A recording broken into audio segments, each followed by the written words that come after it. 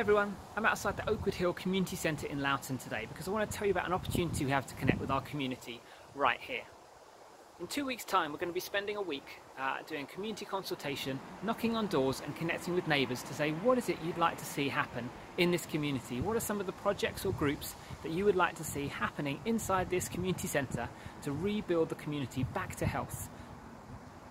How we'd like you to get involved? If you as an individual, as a pair or as a group would like to get involved, we would love to hear from you. The more people that are passionate about getting involved and knocking on doors, the easier it's going to be for us to connect with all of the residents here.